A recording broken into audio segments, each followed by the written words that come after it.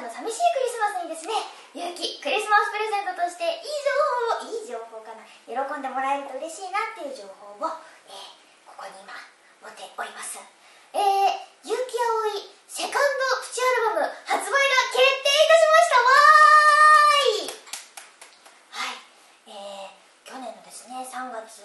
20歳の記念にということで最後の10代を残したプティパというプチアルバムを出させていただいたんですけれどもえ今回はその第2弾ということで「メリバ」というですねアルバムを出させていただこうと思います、えー、発売日は2月13日来年ですね。いやなんとか皆さんクリスマスを生き抜いて